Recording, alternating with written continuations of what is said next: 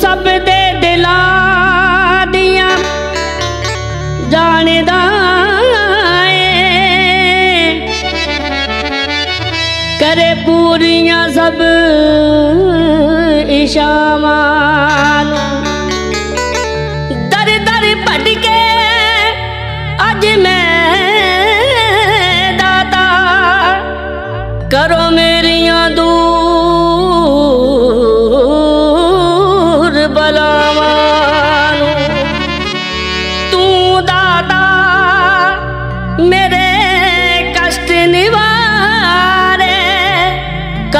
amor.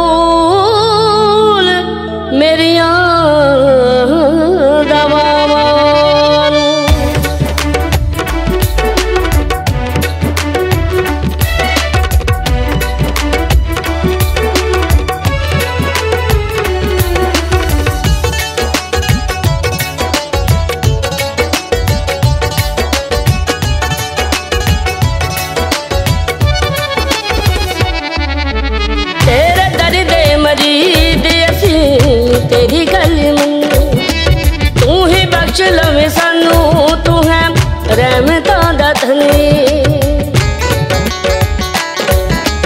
ਤੇਰੇ ਦਰ ਦੇ ਮਜੀਦ ਅਸੀਂ ਤੇਰੀ ਗਲੀ ਨੂੰ ਤੂੰ ਹੀ ਬਖਸ਼ ਲਵੇਂ ਸਾਨੂੰ। ਤੂੰ ਹੈ ਰਹਿਮਤਾਂ ਦਾ ਧਨੀ